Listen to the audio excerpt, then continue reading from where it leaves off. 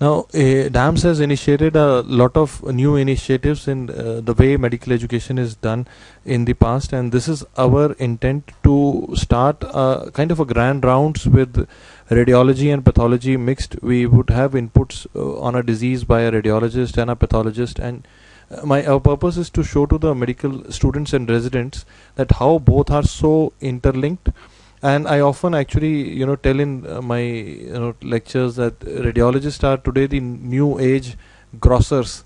You know what the pathologists used to see in gross anatomy in the past before the microscopy and the immunohistochemistry came we used to see everything uh, now this is what we see on x-ray. So we actually uh, would say that both the sciences are a lot more interlinked than a medical student would actually think of so to emphasize this point, I'll show you a X-ray. This is a hand X-ray of a patient, and uh, let us see if you can pick up the findings and make a diagnosis, and then then we'll see the pathological findings. So these are the you can see the hand X-ray of both sides. These are the metacarpals. They look okay, okay, and you see some lesion in this proximal phalanx. One more lytic lesion in the this middle phalanx. Another lytic lesion which is slightly expanding the cortex here but there is no breach in continuity no break no surrounding soft, soft tissue extension and another lytic lesion here another here. So I would say and if I go on the other hand there is another lytic lesion here one here one here. So I'll say more or less the lesions are non-expansile within the bone. Some of them are slightly expanding the cortex. When they are not breaking the cortex they are not extending into the soft tissue. There is no no surrounding soft tissue extension now if you look at the lesions carefully, some of them appear to show slight flocculent calcification. I would describe them as slightly stippled calcification. And when I say phalangeal multifocal lesions with stippled like calcification, some expansile, some non-expansile, I would say, enchondroma as my first differential diagnosis. Now, if I see the soft tissue of this patient, you will see soft tissue swelling is noted in some places soft tissue swelling. And this soft tissue swelling shows tiny calcific particles which are consistent with a phlebolith so if you have multiple phleboliths with soft tissue swelling we are looking at vascular malformation. Once we say vascular malformation likely to be uh, most likely we're looking at a soft tissue hemangioma. So if we correlate the two things now multi hand x-ray showing multifocal multifocal bony lesions with chondroid like appearance. We will say enchondromas with hemangiomas. We are looking at a differential diagnosis primarily of a syndrome called as Maffucci syndrome Maffucci syndrome. Here I would like to add that eh, on a x-ray we we also say that the, the, how well defined the lesion is is it extending into the soft tissues is it breaking the cortex? This also tells us if it is a benign lesion or a malignant lesion in this case, mostly the findings are favoring a benign lesion with intact cortical margins and some uh, chondroid like pattern in, in within. So I'll hand over to Dr. Sanjeev to take us forward with the pathological finding in this disease. Hello everybody. Yeah again uh, you know a classical case for radiology and pathology correlation are the bone lesions you know. Uh, a pathologist without radiology is like blinded totally blinded. And on the other hand for uh, on radiology yes definitely you can identify most of the lesions but definitely whether it is malignant or not malignant will be by you know the pathological diagnosis. Now looking at this let me go with the this was a gross examination done.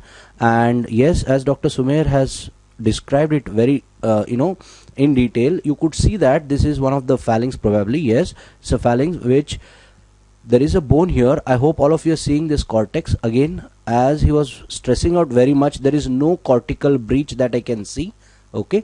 And then definitely this is what i'm seeing. This is a normal marrow of the bone. Normal marrow of the bone. Probably more of fat is there less of the erythroid and the myeloid elements are there very less of it more of yellow color fat. And what i'm seeing is absolutely white glassy appearance. I'm sure all of you would have remembered this seeing like a hyaline cartilage in your you know first mbbs what we saw. A glass like that is why it is called hyaline it's a hyaline cartilaginous appearance which is very much limited within the bone okay?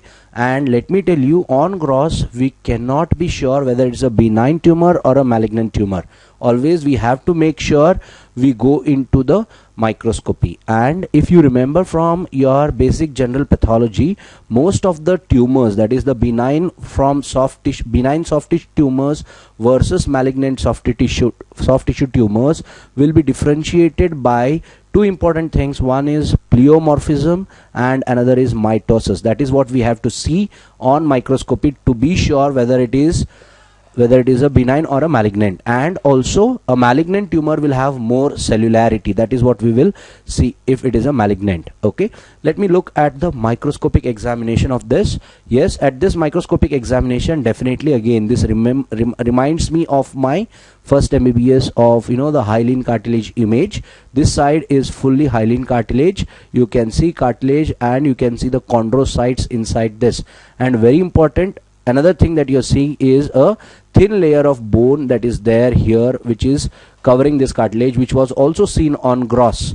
This thin layer of bone probably very thin layer of bone that is there that is seen on microscopy as well. And now whenever we look a cartilaginous tumor we should look for the chondrocytes whether there are many chondrocytes or less number of chondrocytes. Looking at this of course this will come with the experience. Looking at this there are you know the normal number of chondrocytes. There is no excessive chondrocytes inside this tumor. So probably it will be benign. It is benign. And we will look for any mitosis and any pleomorphism which is not seen here. So this is a benign cartilaginous tumor with the history of with the history of multiple lesions in the bones of the hands yes with the multiple lesions in the bones and the hands and phlebolith which is a hemangioma or even there can be associated lymphomas. Remember multiple enchondromas associated with hemangiomas or lymphangioma. Very sorry not lymphoma lymphangiomas this is very classically it is called as Maffucci syndrome. There is one more syndrome Ollier's which is without hemangioma. That will also have multiple enchondromas but without hemangiomas very important take home message two take home message I want to give from this one is remember one thing that in Maffucci syndrome, the enchondromas will have can have slightly higher cells inside it. Still, we will not call it as chondrosarcoma. It can have more cells, but we have to look for nuclear pleomorphism mitosis to make sure that it is sarcoma. Okay, that is one thing that we always see. And second and more important thing is of course, Maffucci syndrome has around 15 to 30% chances of getting into a sarcoma. A chondrosarcoma can develop in any of the lesions. That is why the patient has to be kept under follow-up, close follow-up and definitely a pathologist should never miss a diagnosis of chondrosarcoma chondrosarcoma okay and just for your you know uh, this one i am also showing an image of chondrosarcoma so that you can compare chondrosarcoma with a benign enchondroma now looking at this this is also a cartilage. I can see chondrocytes. Look at the chondrocyte. Number of chondrocytes definitely have increased right? Second next thing is look at the nuclear size. One nucleus is very small. This nucleus is very very large. This nucleus is varying size that is nuclear pleomorphism I am saying nuclear pleomorphism again in favor of a malignant tumor. And this one probably yes this is a mitosis that I am saying mitosis I am saying mitosis nuclear pleomorphism increased cellularity. All of them will make a diagnosis of chondrosarcoma. So it has to be differentiated from benign tumor. Okay?